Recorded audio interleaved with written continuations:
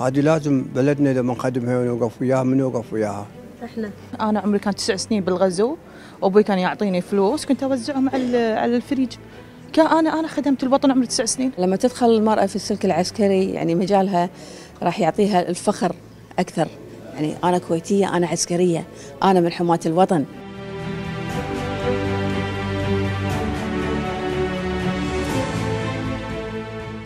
ودي ها؟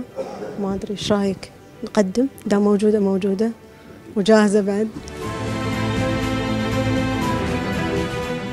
على خطى وزارة الداخلية فتحت وزارة الدفاع أبوابها للنساء للتطوع والتسجيل في شرف الخدمة العسكرية. وإن شاء الله يكونون سند لإخوانهم الرجال لخدمة بلدنا الحبيب الكويت. طبعا قاعدين مجموعة من البنات عشان يوصل دورهم. بس خلينا نشوف إذا نقدر. السلام عليكم. شلونك؟ الحمد لله بخير الله يسلمك. نقدر نسولف شوية؟ إي حياتي يعطيك العافية. الله يعافيك. جايين تقدمون؟ من اللي جاي يقدم؟ بنتي جاي تقدم. بنتك. إي نعم. ما شاء الله. أول ما قالت لكم ودي أقدم؟ عادت لها غدمي إي. خدمة الوطن. قاعد تشوفين عدد من البنات هني قاعدين قدامك إي شنو شعورك؟ والله متفائلة. الحمد لله. إنه يوم قدموا حق السلك العسكري دفاع عن وطنهم. وفيهم الخير بركة إن شاء الله بناتنا. شو أخبارك عمي؟ والله الحمد لله بنيتي الله يعطيك وايد مستانسة أنا شايفتك اليوم جاي مع بنيتك والله شو أسوي؟ هذا شيء غصبا علي بعد. إذا إحنا من عندنا حق بناتنا ونساعدهم ولا ماكو فايدة. بالدفاع هذه دول الخليج كلها الحين عندهم يعني بنات حق العسكرية وحق الشرطة وحق الجيش.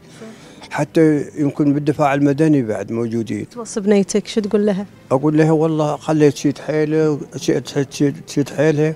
وتحافظ على نفسها وتشجع صديقاتها بعد شو اللي خلاك تقدمين وتتطوعين عشان تنتسبين للدفاع؟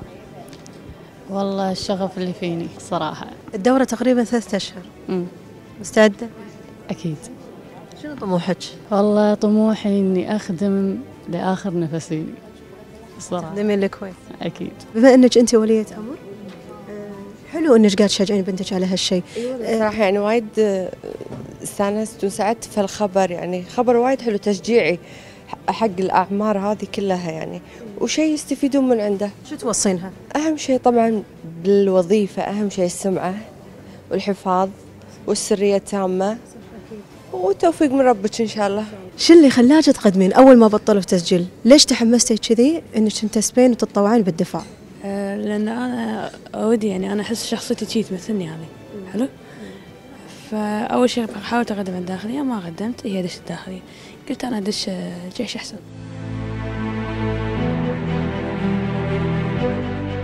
طبعا إحنا بدينا الله الحمد من تاريخ 19 12 ولغايه تاريخ 2 1 2022 في استقبال العنصر النسائي للتطوع في شرف الخدمة العسكرية. طبعا من مختلف الشهادات الجامعية والدبلوم والثانوية وما دون ثانوية. إذا بنتكلم شوي عن الدورة سولف لي كم مدتها تقريبا وشو راح يكون محتواها إذا عندك فكرة؟ طبعا الدورة مدتها ثلاث شهور. آه، محتوى الدورة يعني إحنا ما نقدر نعطيش لأن إحنا مو جهة التدريب نفسها إحنا جهة تسجيل بس يعني بشكل عام يعني لازم في رياضة ما في مبيت لهم. عندهم نظام منظم اللي هو التحية والمسير العسكري والأمور هذه. هني أختي بيبي بعد ما تقدم المتطوعة في الموقع الإلكتروني وتسوي إرسال طلب إحنا ننجز لها موعد على طول الحضور هني تقديم المعاملة حتى نقوم ارسالها للجهات الأمنية والطبية والى اخره. شوف هذه الدفعة الجميلة من البنات. أنا سعيدة وفخورة. أنت شو شعورك؟ نعم أنا أكيد أسعد وأشكر معالي على هذه المبادرة. وأساسا كانت الفكرة موجودة من سنة 88 وتفعلت سنة 93 وكنا إحنا من أوائل الدفعات تقريبا خمس عسكريات. والحمد لله تمت الدورة في نجاح بس كانت في مدرسة خولة بنت الأزور في أبوظبي دخول المرأة أو بشكل عام نساء دخولهم في السلك العسكري هو دافع وطني في البداية وتحمل المسؤولية يعني.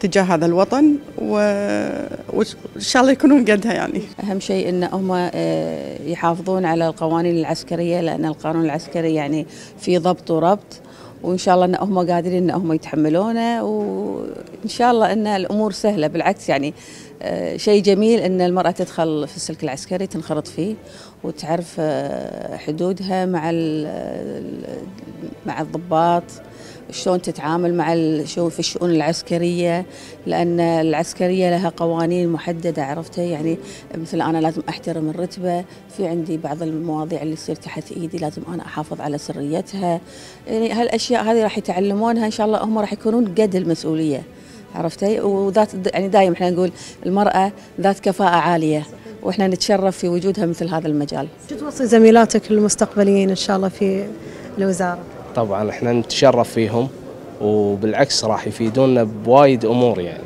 بالعكس إحنا نحتاجهم ونتشرف فيهم وبالعكس تشرف الجيش الكويتي.